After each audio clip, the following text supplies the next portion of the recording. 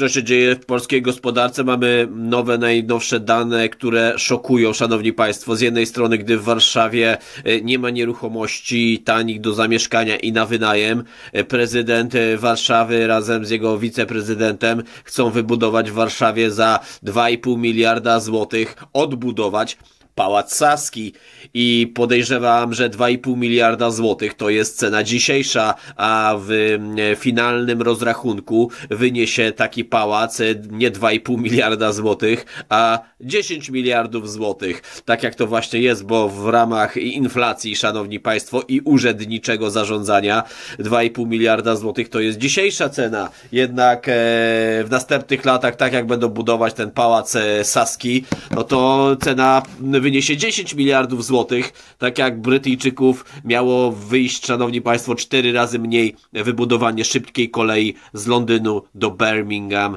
i do Manchesteru. Tak więc, e, szanowni państwo, jestem w szoku, że w kraju, w którym mamy tragiczną sytuację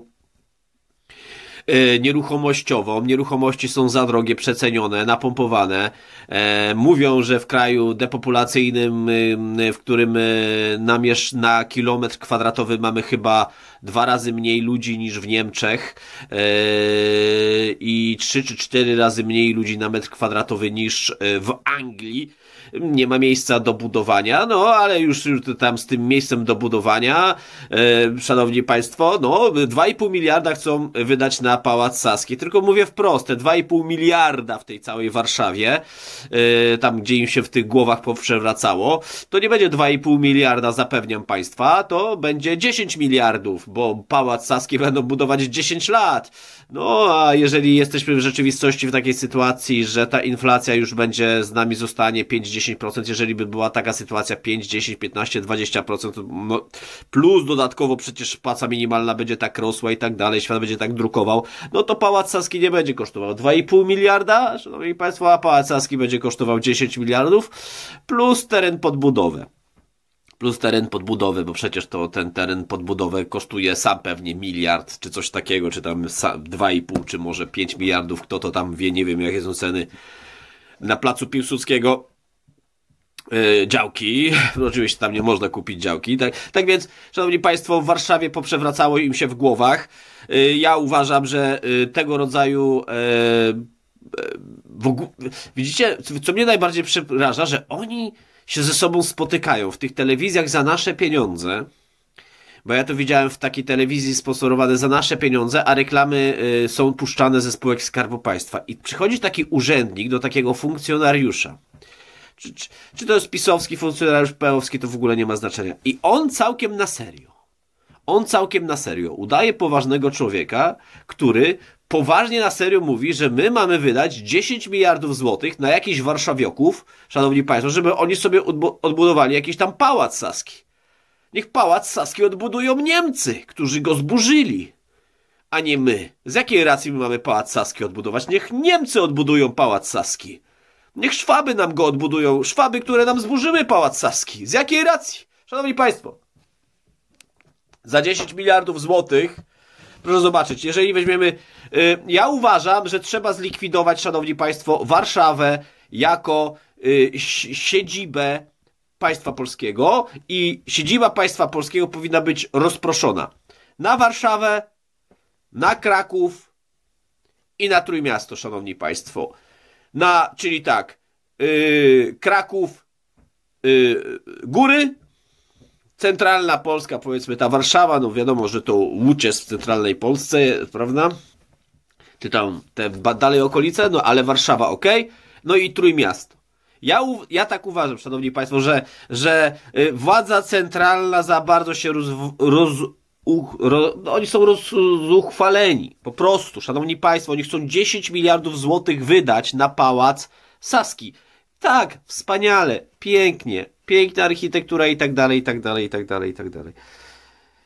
Odbudowaliśmy tą Polskę, wybudowaliśmy ją na ponownie, tak jak w 45, e, no w 45, prawda, no ale moim zdaniem e, my jej nie powinniśmy odbudowywać, my wtedy powinniśmy po prostu budować w technologię, no ale komuchy rządziły i komuchy tak by do niczego nie doszły, oni tam nic nie umieli wbudować. Tak zrobili Koreańczycy po e, swoich zmaganiach z Koreą drugą, to jest północna, południowa, no i oni zamiast oni i też po drugiej W, oni zamiast ten odbudowywać swoje zabytki, po prostu wybudowali nowoczesne miasta. Yy, rozmawiałem z Koreańczykami, tak powiedzieli, no, jaka, nie analizowałem tej historii architektury koreańskiej i budownictwa, tak mi powiedzieli ci Koreańczycy, którzy raczej byli kumaci. Tak więc, szanowni państwo, jeżeli chodzi o tą sytuację, to proszę sobie wyobrazić, że zda ten pałac Saski, ja was zapewniam, nie pójdzie 2,5 miliarda złotych, a pójdzie 10 miliardów złotych. 10 miliardów złotych. 10 miliardów złotych, szanowni państwo, podzielić, bo yy, stan surowy domu,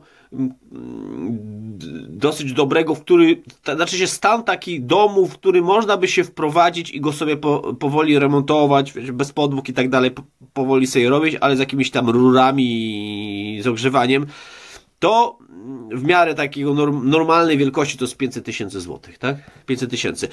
10 y, miliardów złotych podzielić na 500 tysięcy złotych, szanowni państwo. Za te 10 miliardów można wybudować 20 tysięcy domów, nie mieszkań.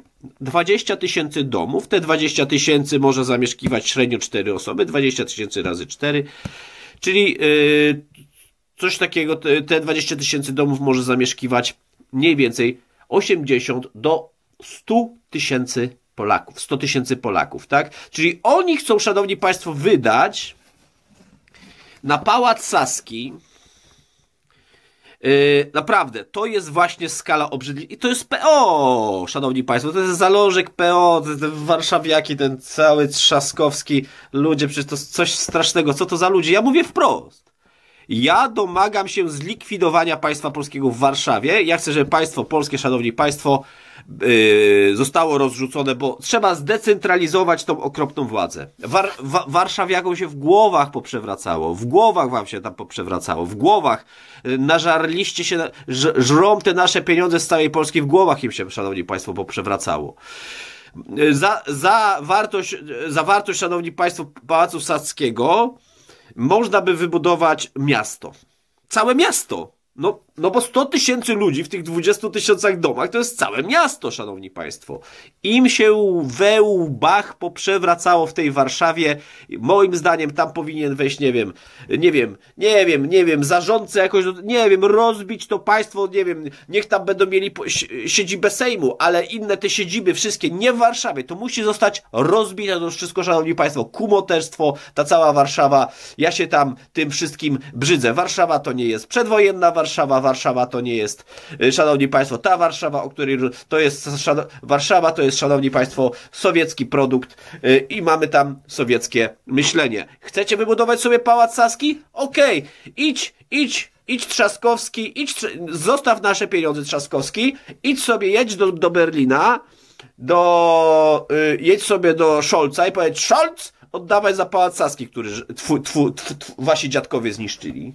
Oddawaj za pałac Saski. Oddawaj 10 miliardów, tak?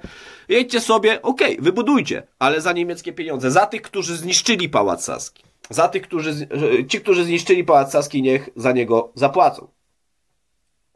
Coś obrzydliwego. Dlatego ciągle mówię, szanowni państwo, w Polsce nie ma po co w ogóle zostawać dla znacznej części ludzi. W Polsce nie ma po co w ogóle wracać, bo tu się nic nie zmieni. Tu się, szanowni państwo, nic, nic nie zmieni. Tu dalej będą tego rodzaju głupie pomysły. Wiecie, z jednej strony chcą budować CPK, z drugiej strony, e, wiecie, e, nie wiem, czy z, z, całej północnej Polski nie, nie, dolecisz łatwo na Wyspy Kanaryjskie i tanio, prawda? Tylko może tam w jedno miejsce co jakiś czas jak, jest jakiś samolot, ale to dopiero od niedawna, tak? Z całej północnej Polski, prawda?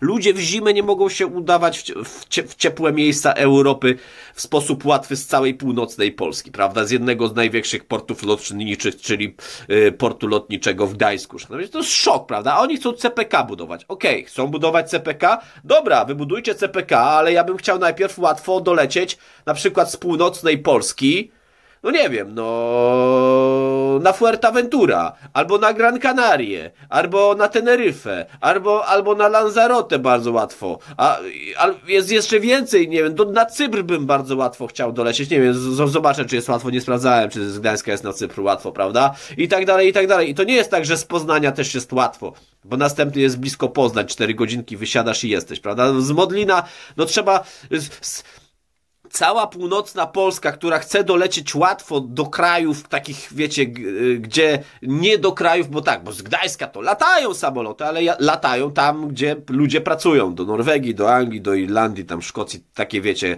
y, takie kiepskie kierunki, gdzie mm, po, po co tam latać, chyba, że tam żyjesz i mieszkasz, prawda, to, to co innego, prawda, ale po co, te, i, nie wiem, odwiedzić, nie wiem, rodzinę, a po co tam latać do jakiejś tam Irlandii, Norwegii, no raz tam polecisz w życiu Norwegia to nie jest taki kraj, co będziesz tam latać y, słońca, na słońcu się wygrzewać, prawda?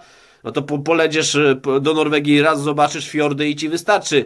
Y, polecisz sobie e, tam raz do Londynu, czy tam do Szkocji, do Dublina, no i po co tam więcej latać właściwie, prawda? No ale na przykład, wiecie, bardzo ograniczone jest, są loty nad Morze Śródziemne, na te ładne właśnie miejsca, gdzie człowiek by, do Chorwacji w ogóle to też ciężko dolecieć. To jest w ogóle gdańskie, la... Y, mamy nowe lotnisko i tak dalej, ale co z tego, jeżeli to lotnisko, szanowni państwo, operuje tylko robotników, można powiedzieć. Robotników najemnych, którzy, mm, że tak powiem, zaprzedali się w pracach w Holandii i Anglii, w których będą pracować do 68 roku życia, jak dobrze pójdzie, czyli do emerytury, jeżeli dobrze pójdzie, jeżeli tej emerytury nie powyższą na 69 czy 70 lat, prawda?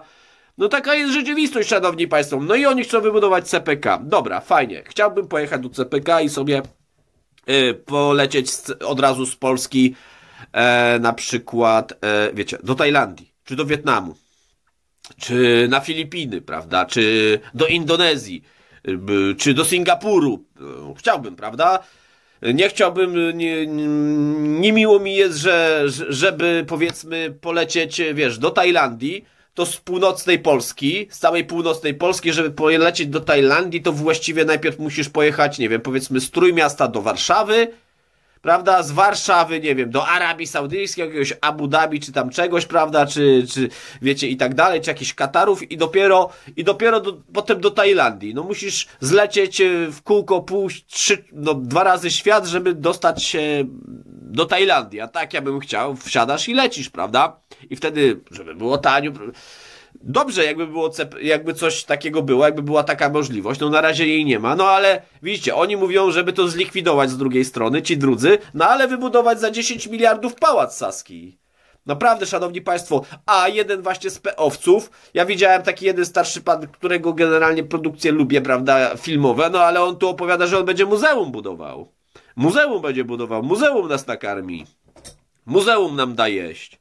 Muzeum nas nakarmi. Muzeum mamy za mało. Mamy wszędzie muzeum, muzea, kościoły, szanowni państwo, pałace saskie. Mamy tego, od tyle tego mamy, szanowni państwo. Oni mówię wam, Polska i oglądam, szanowni państwo, oglądam Tuska. No i zapowiadają, że będą fidować. Z jednej strony mówią, że nie będą dawać e, zagranicznym bankom, zagranicznym deweloperom naszych pieniędzy, a z drugiej strony mówią, że będą jednak dawać, prawda?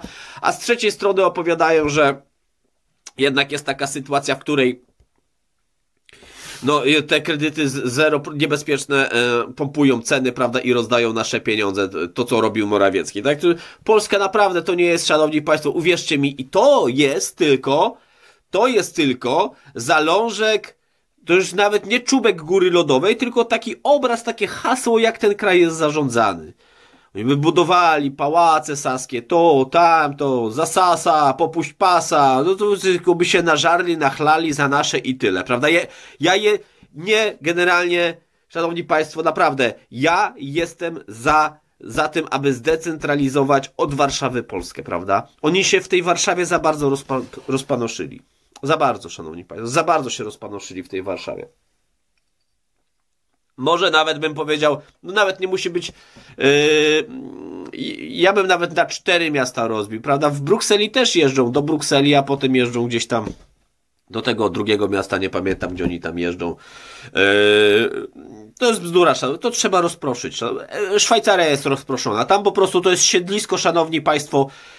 To jest siedlic, siedlisko, wymyśl, wiecie ile pieniędzy się zarobi przy takim, yy, przy takiej budowie Pałacu Saskiego? Za 10 miliardów? No bo oni mówią teraz 2,5 miliarda. Pewnie teraz już by był rachunek 5 miliardów, ale wyjdzie finalnie, tylko mówią 2,5, ale wyjdzie 10-15. Taka rzeczywistość, szanowni państwo. Niech se od Niemców wezmą i se wybudują. Niech zostawią nasze pieniądze w spokoju, szanowni państwo. Nie, że naprawdę zdecentralizować tą Warszawę w cholerę, nie? Zdecentralizować to w cholerę. Y, rozbić na nasze były stolice. Y, trochę w Krakowie, trochę w Warszawie, trochę w Poznaniu, no i teraz ta, takim ważnym też ośrodkiem oczywiście jest powiedzmy Trójmiasto. No i na Trójmiasto powiedzmy, prawda, bo blisko morza, tak? No ale nie do końca jestem tam pewien, że tak by musiało być. No i Trójmiasto, nie wiem, rozbić tą centralną władzę, bo to za dużo mają pieniędzy, dlatego Warszawa, szanowni państwo, ma głupie pomysły na budowanie pałaców saskich, bo za dużo pieniędzy mają. Bo wszyscy jeżdżą do Warszawy, na Sejm, na to, na tamto. Rozbić to w cholerę. Rozbić to. Waszyngton jest mały. Waszyngton jest mały, szanowni państwo, przecież, tak? Y, bo ludzie myślą, że y, stolicą musi być duże miasto największe. Nie musi być. Nie musi być. Waszyngton nie jest największym w ogóle miastem. Waszyngton w ogóle jest małym miastem, prawda? A jest to, a Waszyngton jest stolicą. Y, stolicą, nie wiem, czy oni w ogóle mają stolicę w sumie nawet nie wiem, czy Amerykanie mają stolicę, czy to jest po prostu siedziba tam te, tego ich y, z parlamentu, senatu, prawda? Właściwie nie wiem, czy oni mają oficjalną stolicę, tylko, czy po prostu siedzibę siedzibę parlamentu i tak dalej, prawda? Nie wiem, w sumie no niby powinni, powinni, każdy by powiedział, że Waszyngton, ale no trzeba się zastanowić, czy Ameryka, czy to jest, y, czy w ogóle Amerykanie mają stolicę, czy tylko po prostu siedziby, czy mają po prostu siedziby, szanowni państwo, tak? Tak więc, yy, dobra, przechodzimy dalej, tu pokazuje, że no, nasze pieniądze będą trwonione, już wymyślają, szanowni państwo, ci e, od nowej władzy, że każdemu będą ściągać 10 e, zł z konta na TVP. TVP trzeba sprzedać zlikwidować to jako spółkę Skarbu Państwa, szanowni państwo, sprzedać to, zlikwidować, e, żeby nam nie brali więcej pieniędzy, żeby nam, żeby znowu nie przy... to jaka tam propaganda w danym momencie się leje przez te telewizory jest obrzydzające. E, chyba jeszcze bardziej, albo tak samo jak było wcześniej. No i dodatkowo na tą propagandę będą chcieli każdemu zabierać 10 zł. Rozumiemy to? Ale nie tak ten, tylko no nie, każdemu z konta w Polsce zabiorą 10 zł. Rozumiecie?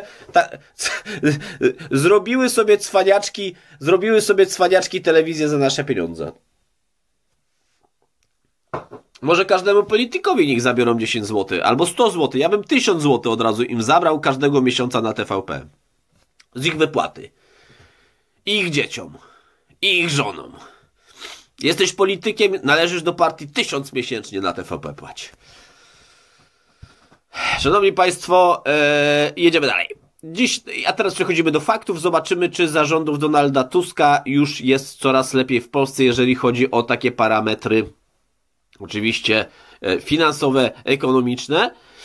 E, zacznijmy od eurasków. Szanowni Państwo, i euro jak e, jest bardzo drogie, tak jak było bardzo drogie, tak jest drogie. Nic się na razie nie dzieje dobrego dla polskiej złotówki.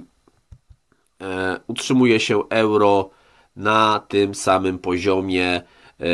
Troszeczkę się kilka groszy, ale jest właściwie na tym samym poziomie, na którym było, czyli proszę zobaczyć, tutaj rysujemy trend, czyli jest w trendzie zapadającym się, szanowni państwo, bo im wyżej, tym gorzej dla złotówki. Tutaj rysujemy, prawda, widzimy, tak, czyli Tusk prawdopodobnie, szanowni państwo, zniszczy e, złotówkę i euro pra prawdopodobnie będzie kosztowało zawsze bardzo dużo, może nawet 5 zł. No i potem Donald Tusk tak jak chciał, bo to Donald Tusk mówił, że chce zniszczyć polskiego złotego. Znaczy się mówił, że nie mówił, że chce zniszczyć, ale mówił, szanowni państwo, że chce, e, pomyliłem się, powiedział, że chce wprowadzić euro. No, e, a jak chce wprowadzić euro, to pewnie chce zniszczyć, zlikwidować złotówkę. Jak zlikwidować, to zniszczyć. E, I e, chyba, że chce wprowadzić dwuwalutowość no to może zostawi złotówkę i wprowadzi dwuwalutowość w Polsce, prawda? A może nie chce zlikwidować złotówki. No ale jeżeli, nic z tego nie powiedział, że chce wprowadzić dwuwalutowość, powiedział, że chce wprowadzić euro. Jak wprowadzić euro, to pewnie chce zniszczyć złotówkę. Szanowni Państwo, zlikwidować. To widzimy bum, bum, bum, bum, bum. Tak nam zrobią, że zniszczą nam polską złotóweczkę. Tak to właśnie wygląda. Czyli złotówka bardzo źle ma się do euro. Wygrana Donalda Tuska 4 miesiące mm, nic nam nie dała. Nic, nic nam nie dała. Zobaczmy dolara amerykańskiego. Zobaczmy dolara amerykańskiego. Dolar amerykański po 4 złote dalej w zapaści, szanowni państwo, polski złoty do dolara amerykańskiego. Narysujmy sobie nasz ukochany, nieukochany, znienawidzony, nieznawi nieznawidzony trend. Proszę zobaczyć. No i polska złotóweczka się dalej zawala. Bum, bum, bum, bum, bum, bum, bum, bum, bum, prawda? E, e, jeżeli e, Tusk dalej będzie miał tego rodzaju rządy, no to zniszczy polskiego złotego już i polski złoty będzie kosztował 5, 6, 7 złotych za 4 lata. Jeżeli Donald Tusk będzie kontynuował politykę gospodarczą, jaką uskuteczniał jego asystent Mateusz Morawiecki. Szanowni Państwo, przyszedł teraz e, szef Morawieckiego i teraz szef Morawieckiego nam tu życie upiększa, niszcząc polską złotówkę do dolara amerykańskiego. Zobaczymy, czy do, y, złotówka dojdzie bum, bum, bum, bum, bum, bum, do wcześniejszych czasów, gdy rządził Tusk, czyli, szanowni państwo, do mniej więcej 3,20. Jak na razie polska złotówka jest zwykłym szmateksem. No ale dolar też jest szmateksem, tylko że no niestety polska złotówka do 8 lat jest większym szmateksem. Szanowni Państwo, większym. Zarabiamy tych złotówek więcej, ale sama je, jeden unit złotówkowy, prawda? Jedna jednostka, czyli jeden złoty, 100 groszy, tak? Yy, to szmata, prawda? Szmata inflacyjno-wartościowa, no bo nie dość, że mamy inflację, tak? No bo proszę zobaczyć, tak? Bo nie dość, że mamy inflację, nie dość, że mamy inflację, to proszę zobaczyć, tych złotówek zarabiamy coraz więcej, tak? Ale nie dość, że mamy inflację, tak? Nie dość, że mamy inflację, to jeszcze złotówka się zapada do dolara, tak? Bum, bum, bum, bum, bum, bum, bum, bum, bum, tak? A, ale dolar, szanowni państwo, zawalił się do złota, proszę zobaczyć, tak? Dolar zawalił się do złota, proszę zobaczyć. Dolar zawalił się do złota, prawda? 600, proszę zobaczyć, jaki tu mamy wykresik, prawda? I ten wykresik tam pokazuje, co nam tutaj pokazuje, szanowni państwo nam pokazuje tutaj, że od, e, widzimy, 800% e, dolar stracił, dolar stracił ponad 800% e, w mniej więcej 20 lat. 800%, szanowni państwo, 800%, proszę sobie to wyobrazić, a od roku tutaj, a dokładnie w 20 lat stracił, czy 4, 500, ponad 500%, prawda, bo jeżeli weźmiemy tutaj wykres świecowe, no to widzimy, że najniższa cena e, do dolara to 2 dolara do złotego to 2157 dolarów za uncję, prawda? Z, z poziomu widzimy w 2, 1 lipca 1, w czerwcu 1 2004 jedna uncja kosztowała 383 dolary, a kilka tygodni temu jedna uncja kosztowała 2157 dolarów. I teraz sobie proszę wyobrazić, że nie dość, że złoto straciło 600, e, przepraszam, że straciło 500%, przepraszam, że dolar stracił, narysuję to, e, dolar stracił 500% do złota, prawda? 500%, ale złotówka od 2000, o tutaj, od tego momentu straciła do dolara z 2 na 5, dzisiaj na 4. Czyli mm, od tego gigantycznego umocnienia straciła 100% do dzisiaj, ale do tego najniższego poziomu, gdy była po 5 zł niedawno stosunkowo, to straciła 150%, prawda? Czyli gdy dolar stracił do złota 500%, tak, to złotówka dodatkowo straciła do dolara 150%. Proszę sobie to wyobrazić. Proszę sobie to, szanowni państwo, wyobrazić, jakie to są liczby, tak? Jakie to są okropne, ohydne liczby. Znaczy ohydne, no dla tych, którzy wiedzą, to dobre. E, tak więc do dolara tragedia, do euro tragedia. Zobaczmy e, poziom inflacyjny w Polsce. Widzimy bardzo źle, szanowni państwo, bardzo źle mamy e, w Polsce, bardzo złą mamy sytuację w Polsce. Proszę zobaczyć. Bardzo złą mamy sytuację w Polsce. Yy, inflacja średnia, proszę zobaczyć, średnia inflacja prawie najwyższa w Europie. Czyli to jest za grudzień, zobaczymy, zaraz będzie za styczeń, spłynie wszystko. Grudzień 6,2. Proszę zobaczyć, w Turcji, w Turcji nie liczymy, Serbii nie liczymy, bo poza Unią i poza NATO, Rosji nie liczymy. No i tylko w danym momencie mm, e, w Czech nie liczymy, bo to mały kraj, Islandii nie liczymy, bo to w ogóle 100 tysięcy ludzi, tylko czy 300. No i tylko mamy w Rumunii większą inflację, która jest w NATO i w Unii, prawda? Ale jest to kraj, 20-milionowy, czy tam 18-milionowy, czy tam 19-milionowy, prawda? Tak? Czyli z największych krajów, jeżeli chodzi o kraje w Europie, w Europie, prawda? W Europie kraje, które są w NATO i które są w Unii, z tych dużych krajów powyżej 20-30 milionów, Polska ma największą inflację. Następny kraj po nas, pomijając Rumunię i te kraje u góry, to który to jest? Popatrzmy, Słowacja Słowacja, Białoruś, Bułgaria, Estonia, Norwegia, Ukraina dopiero. O, proszę bardzo. Ukra A, Ukraina nie jest w NATO i w Unii, ale nawet Ukraina ma mniejszą inflację niż Polska. Ukraina nawet ma. Gdzie jest duży kraj? Du, du, du, dopiero o, Wielka Brytania dopiero. Wielka Brytania. Czyli Wielka Brytania ma niższą inflację średnią, bo mamy 6,2, oni mają 4. Tylko, że Wielka Brytania nie jest w Unii Europejskiej. Jest w NATO, ale nie jest w Unii Europejskiej i wyniszcza sobie walutę. Ale znajdźmy jakiś dalej kraj. No, gdzie, gdzie są. O, jest Hiszpania.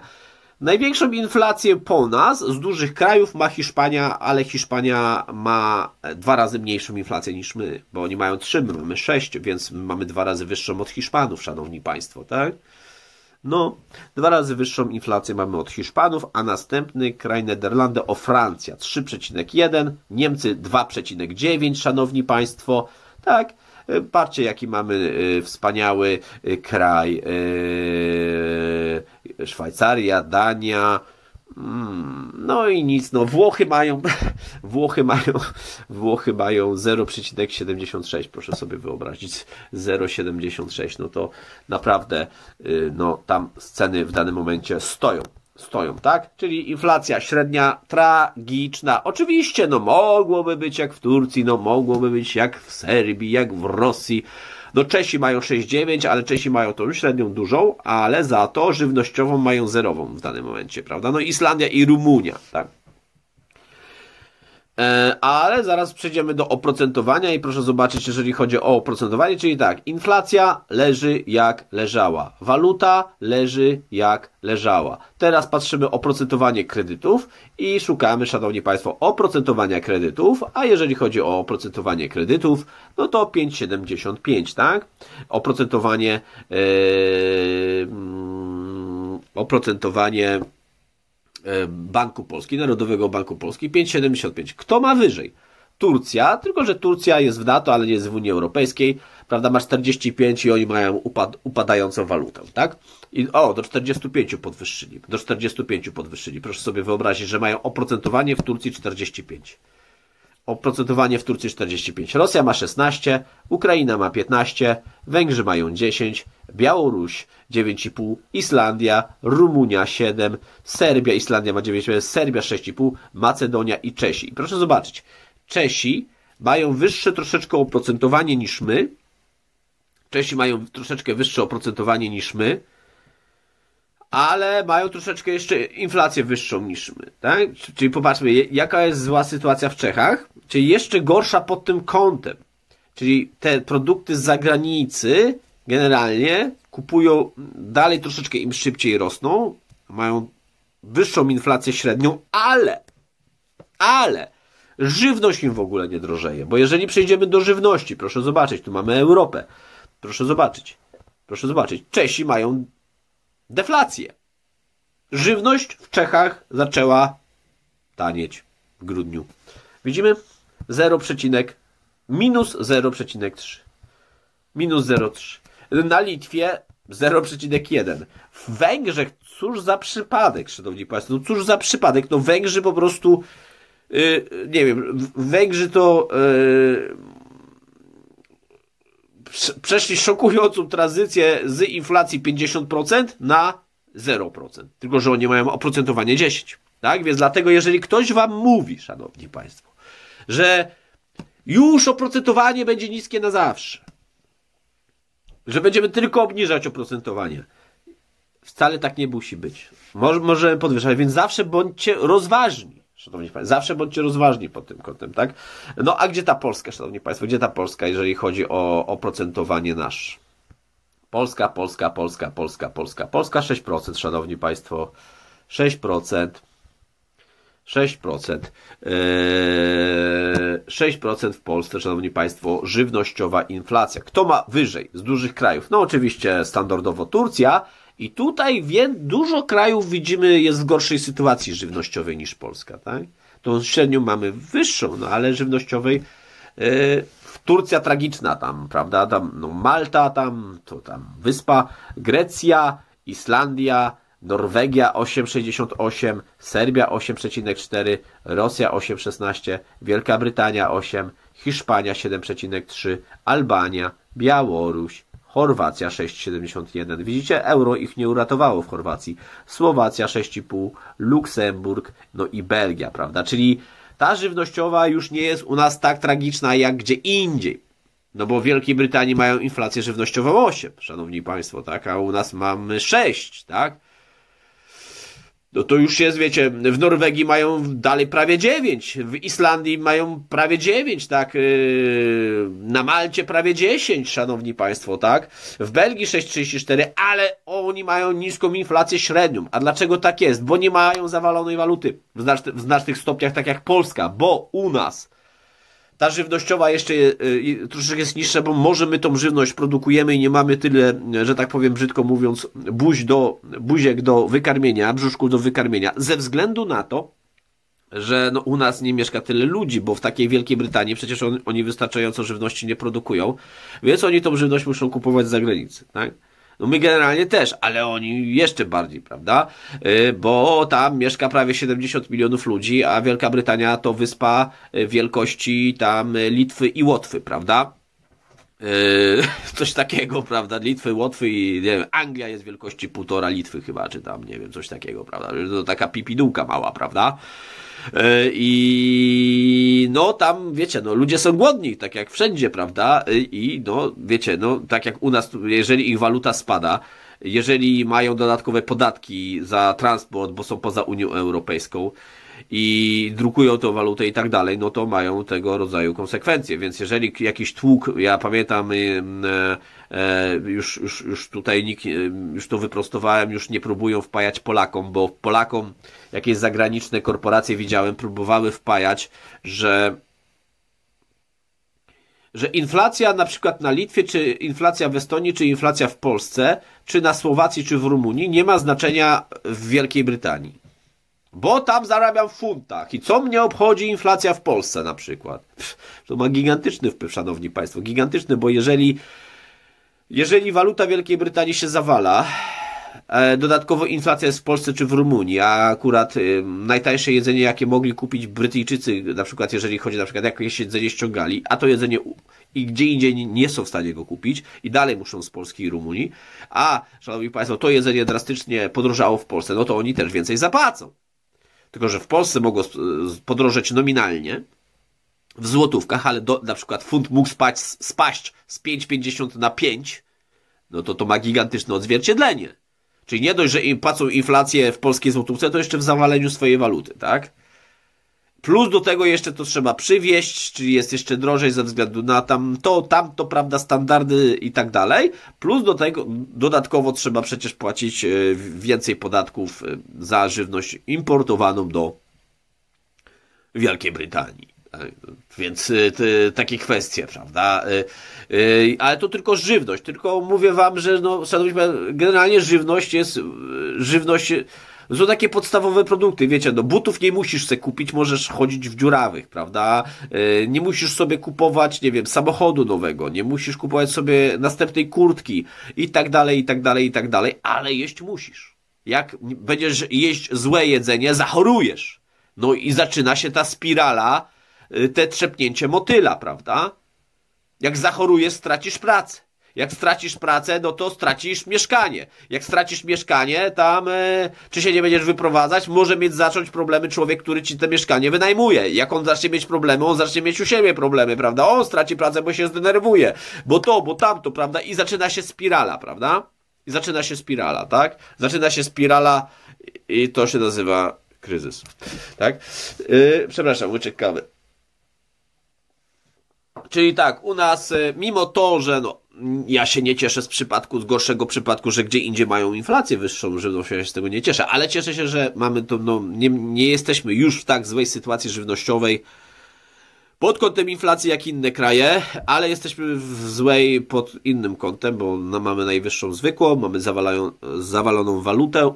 Mimo tego, że mamy wysokie oprocentowanie, to i tak to oprocentowanie nie jest tak wysokie, aby umocnić naszą walutę, aby obniżyć stanowczo naszą inflację.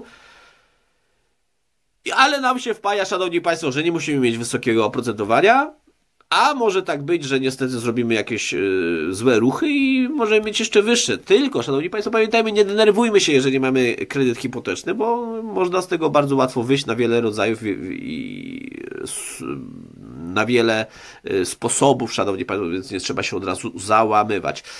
Tak więc y, widzimy, że sytuacja jest dosyć trudna. Dosyć trudna. A na sam koniec, szanowni państwo, oczywiście zapraszam do y, udostępniania tego filmu na swoich social mediach, na Twitterze, na Facebooku, na Instagramie, jeżeli to w ogóle można, ja nawet nie mam Instagrama, nawet nie wiem, czy tam film można, chyba rolki można. Na Instagramie link dodajcie, na TikToku, szanowni państwo, wyślijcie ten film w linku y, do swoich wszystkich znajomych w Messengerze z dopisem, żeby, z dopiskiem, żeby przeczytali, żeby obejrzeli na Whatsappie, nie wiem, na Telegramie, y, nie wiem co tam jeszcze istnieje. Jeżeli nie macie tych wszystkich social mediów, no to wyślijcie w mailu do wszystkich swoich znajomych. Jeżeli nie macie maila, no to wyślijcie w SMS-ie. Inaczej nie rozdmuchamy głupoty w naszym narodzie, no a przecież lepiej żyć między mądrymi niż między głupimi. Pozdrawiam, do usłyszenia już wkrótce, a na sam koniec zapraszam do obejrzenia filmu, który pojawił się na ekranach Państwa monitorów, ze względu na to, że mogą być to znacznie ważniejsze i fajniejsze informacje, aniżeli te, które usłyszeli Państwo właśnie w tym filmie. Dziękuję, do usłyszenia już wkrótce, cześć.